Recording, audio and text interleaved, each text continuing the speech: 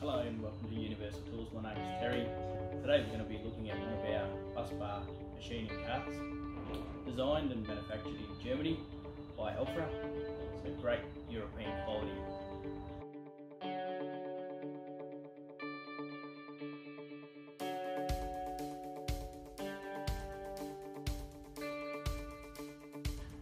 So let's have a look at some of the features that this cutter and offsetting machine does. On this side of the machine we've got four drawers so you can put tooling in there. Got accessories. This drawer here is where all your punch and dies are kept. 9mm, 11mm, 13.5mm. We also do oblong for fish plates. And finally, in the bottom drawer, hydraulic hoses, and you can put your foot switch in there as well. Let's have a look at the, the bending feature on this bus bar machine. So in here, bring back your protective cover, and you'll notice that the bending shoe and the bending radius sits opposite each other. Here. We have got a limit switch. And a series of angles are engraved on the marker depending which angle you want to bend at. So we're going to do a bend and I'm going to set it at 90 degrees and do it the knob like so.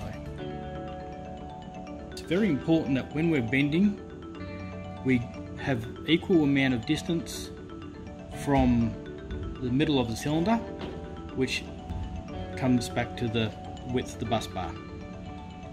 What do we mean by that? Well, let's have a look. So this piece of bus bar here that we're going to bend is 100 mil wide, which means that we need to have 50 mil spaced evenly the middle of the piston shaft. Now how we do that is we've got a wheel here which raises and lowers our punching head.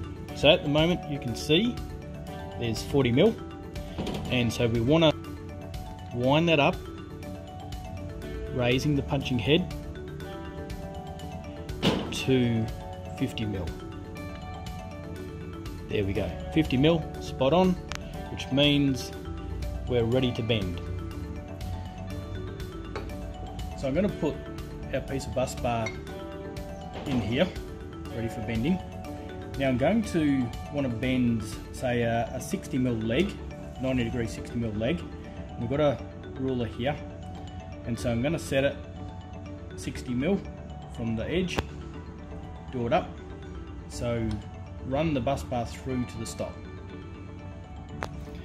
So at the moment it's in punching mode and what I'm going to do is switch it across to bending mode.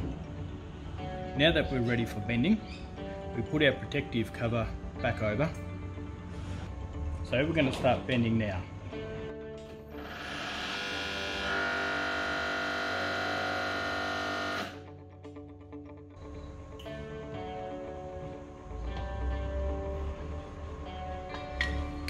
And there we have it, 90 degree bend, absolutely perfect.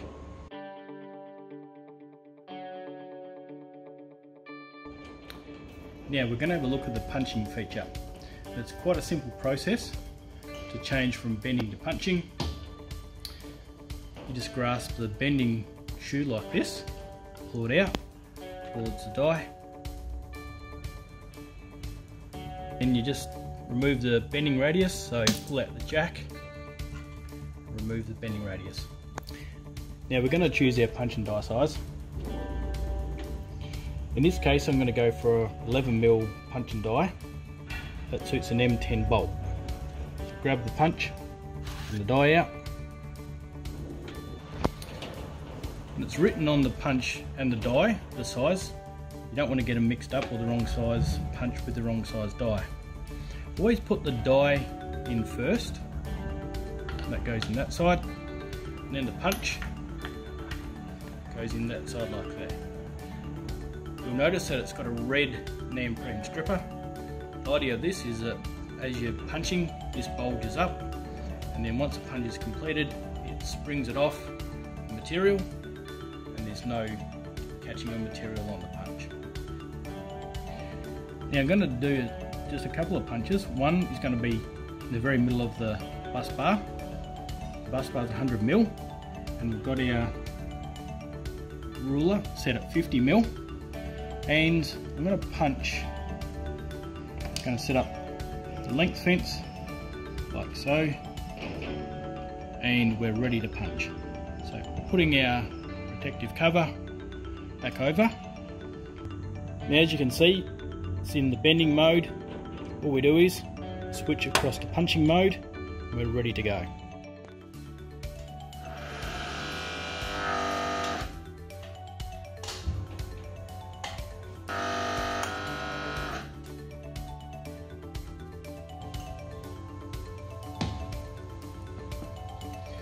So that's the two holes that were punched.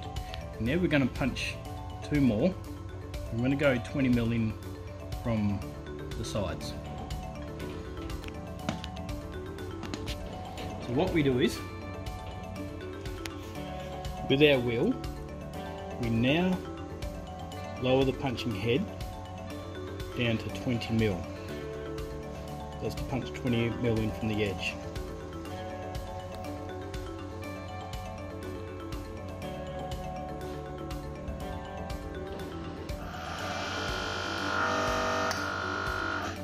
we've just punched our two holes. First one is 20 mm in from the edge to the centre of the hole. And then this one here is 20 mm in from the edge to the centre of the hole.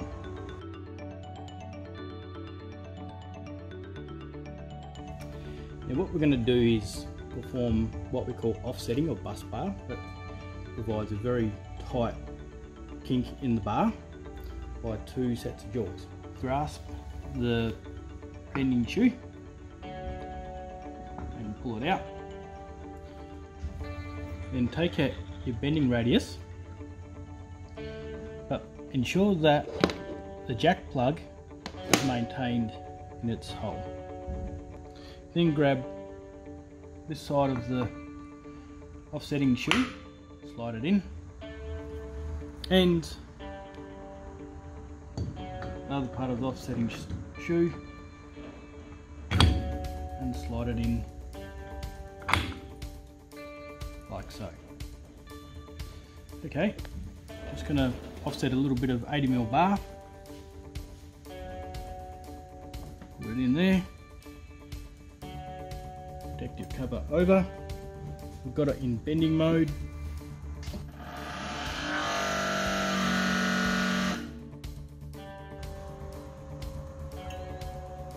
release the cover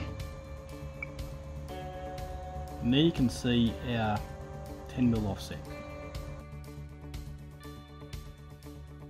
I'm going to have a look at the bus bar cutting part of this machine and I'm going to cut a piece of 80mm wide bar. This is how you do it. So you push your bar through to where you desired to want. You can see it through there and you've also got a tape measure here. So if you want it 130 mil in cut, set it at 130. Now to cut it evenly, I'm then going to move the side guide to 40 mil, lock it in, and that ensures that this 80 mil bar is cut evenly in the middle. Now these here are our hold down clamps. So you wind that one down on that side, lock it, widen now this one on this side and lock it. Now we're ready to go.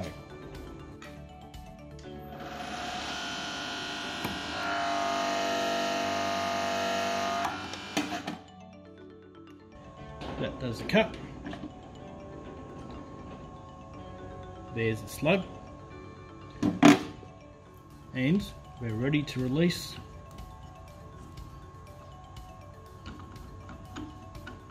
the bus bar.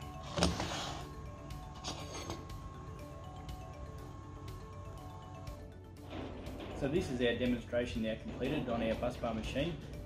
We've demonstrated bus bar bending, offsetting, punching bus bar and cutting bus bar. And if you think this machine is the machine for your switchboard workshop, you can visit us on www.uttco.com.au or you can drop us a line at sales at uttco.com.au. Thank you for watching. Have a great day.